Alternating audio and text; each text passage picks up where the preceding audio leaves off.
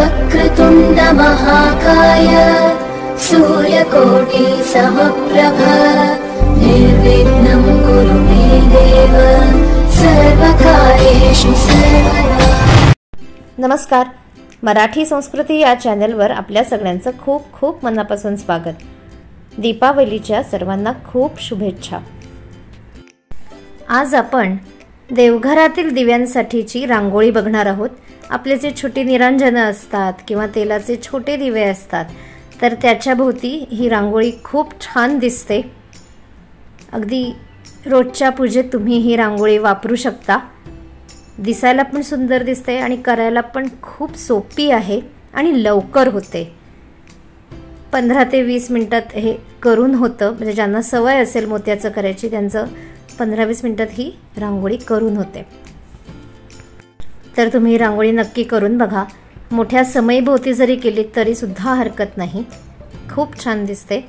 चला तर मग आपण सुरू करूया. काय काय साहित्य घेतलं आहे ते पहिल्यांदा बघूया. यासाठी मी सहा नंबरचे मणी वापरत आहे. लाल रंगाचे आणि पांढऱ्या रंगाचे मणी घेतलेले आहेत. कुठलंही कलर कॉम्बिनेशन तुम्ही इथे घेऊ शकता. नायलॉनचा धागा आहे सुई आहे आणि धागा कट करायला कात्री आहे.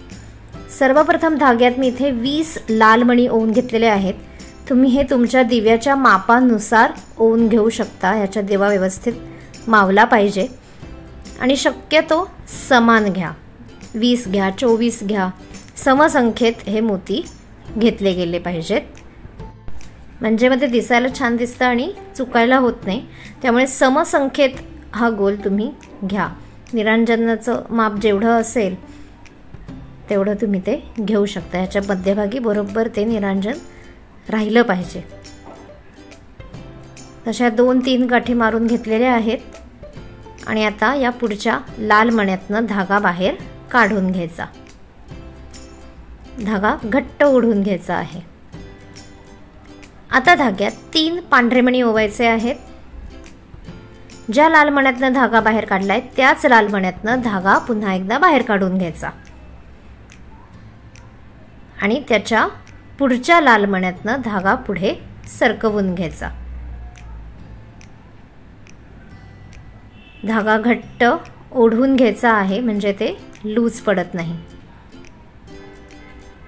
आता दोन पांढरे मणी ओवायचे आहेत. या पांढऱ्या मण्यातनं धागा खाली काढून घ्यायचा. सगळीकडे चार चारचे राऊंड झाले पाहिजेत. त्यानंतर या खालच्या लाल मण्यातनं आणि त्याच्या पुढच्या लाल मण्यातनं असा धागा पुढे सरकवून घ्यायचा आहे. आता परत धाग्यात दोन पांढरे मणी ओवून घ्यायचे आहेत. या पांढऱ्या मण्यातनं धागा बाहेर काढून घ्यायचा. धागा घट्ट ओढून घ्यायचा. मग खालचा लाल मणी आणि त्याच्या पुढचा लाल मणी असा धागा पुढे सरकवून घ्यायचा.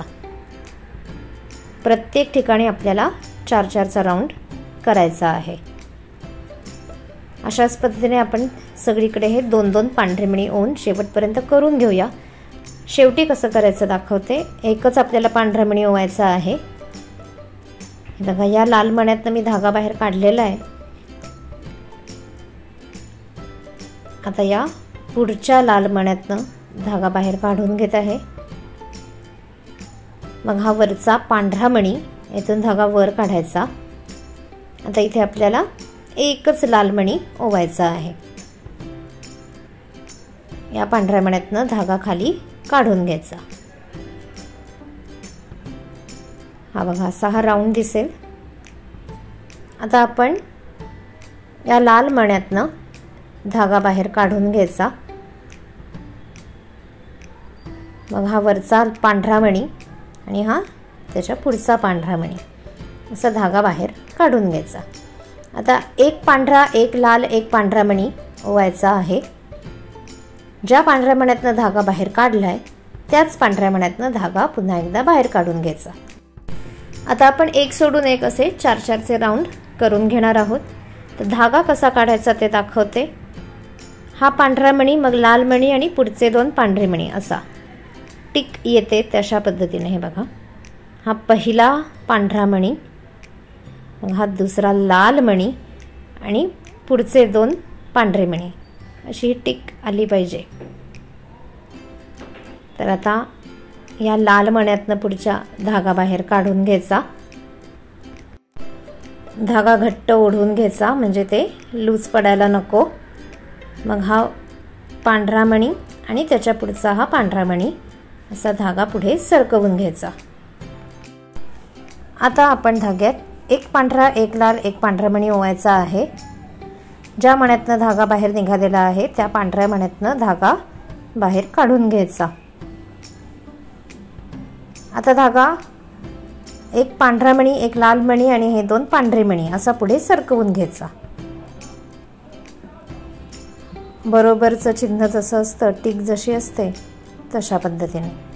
एक पांढरा एक लाल आणि हे पुढचे दोन पांढरे मणी. असा धागा पुढे सरकवून घ्यायचा. अशाच पद्धतीने आपण हे सगळे राऊंड पूर्ण करून घेऊ. एक सोडून एक हे राऊंड पूर्ण करून घ्यायचे. तर दिसायला खूप छान दिसतात. नक्की करून बघा. आणि अगदी पंधरा वीस मिनटात तयार होतं हे. छोट्या निरंजनासाठी तर खूप सुंदर दिसतं. आणि खाली कमेंट बॉक्समध्ये मला अभिप्रायही जरूर कळवा. सर्वांना पुन्हा एकदा दीपावलीच्या खूप खूप शुभेच्छा. आणि माझा हा व्हिडिओ बघितल्याबद्दल धन्यवाद.